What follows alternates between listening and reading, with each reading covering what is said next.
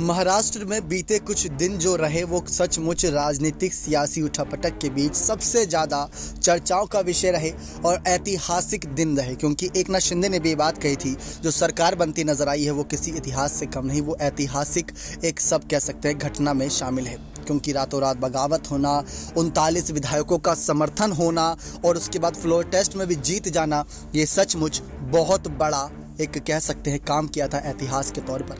लेकिन बात करें बागी विधायकों की। बागी विधायकों के एक कदम से महाराष्ट्र की सियासत हिल गई। लेकिन क्या आज के समय पर बागी विधायक के दम पर ही फडणवीस की सरकार खड़ी है? ये सवाल बहुत बड़ा है। ये बात हमने कई रिपोर्ट में आपके सामने रखी है कि फडणवीस की सरकार शिंदे के दम पर नहीं, बल्कि शिंदे इस समय फडणवीस के दम पर हैं। क्योंकि एक नाथ शिंदे ने भी अभी विधानसभा सत्र के आखिरी दिन ये कही बात कि देवेंद्र फडणवीस खुद तो आए, लेकिन हमें भी साथ लाए। ये बात करते नज़र आए थे एक नाथ शिंदे।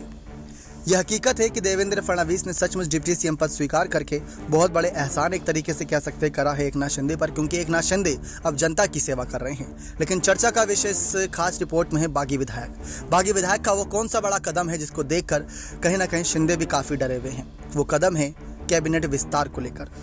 दरअसल नौ मंत्रियों ने शपथ ली थी शिंदे की तरफ़ से, नौ मंत्रियों ने शपथ ली थी देवेंद्र फडणवीस की तरफ़ से, और एक एक खुद देवेंद्र फडणवीस और शिंदे, यानी टोटल बीस मंत्रियों ने शपथ ली थी। लेकिन कुछ विधायकों की जो नाराज़गी की खबरें सामने आई थी कैबिनेट विस्तार से, वो नाराज़गी सितंबर के महीने में दूर हो जाएगी। लेकिन अगर नहीं दूर हुई, महिलाओं को लेकर कुछ बड़े फैसले नहीं हुए, तब क्या होगा? तब क्या बागी विधायक का बड़ा कदम शिंदे और फडणवीस के खिलाफ हो सकता है? जैसा कि एक मंत्री ने तो अचानक से ट्वीट कर दिया था उद्धव के समर्थन में उनकी वीडियो जारी करते हुए। ये सोचने वाली बात है कि किस तरीके से जहाँ पर उद्धव के समर्थन में अगर ऐसे ही मंत्री आने लगे तो शिंदे के लिए तो ये बहुत ज़्यादा निराशा वाली बात होगी, क्योंकि इस समय जो शिंदे सरकार की सबसे बड़ी नींव है, वो उनके अपने ही बागी विधायक हैं।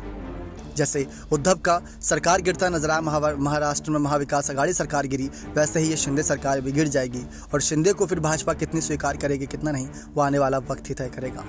लेकिन बागी विधायक इस समय पूरी तरीके से सब्र रखे हुए हैं क्योंकि सब्र का फल मीठा होता है। ये बहुत पुरानी कहावत है और जितना सब्र रखेंगे, उतना ज़्यादा यहाँ पर कह सकते हैं, उनको भी आने वाले वक्त में कुछ बड़े पद मिलते नज़र आएँगे। और सबसे बड़ा उदाहरण इस समय एक नाथ शिंदे हैं कि किस्मत का खेला कैसे हुआ कि एक नाथ शिंदे आज महाराष्ट्र की सीएम कुर्सी पर है। किसी ने नहीं सोचा था, राज ठाकरे, उद्धव ठाकरे, देवेंद्र फडणवीस, आदित्य ठाकरे जैसे नामों के बीच अचानक से एक दिन निकलकर सामने एक नाथ शिंदे और महाराष्ट्र की सीएम कुर्सी पर आ बैठे।